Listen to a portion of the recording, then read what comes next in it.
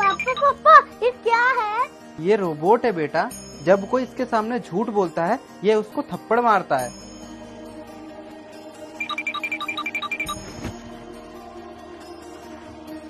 पापा मुझे स्कूल नहीं जाना। मेरे पेट में दर्द हो रहा है। देखा प्रियांशु? आपने झूठ बोला इसलिए रोबोट ने आपको मारा। जब मैं छोटा था मैं कभी स्कूल जाने के लिए बहाने नहीं बनाता था। आप ही का बेटा है।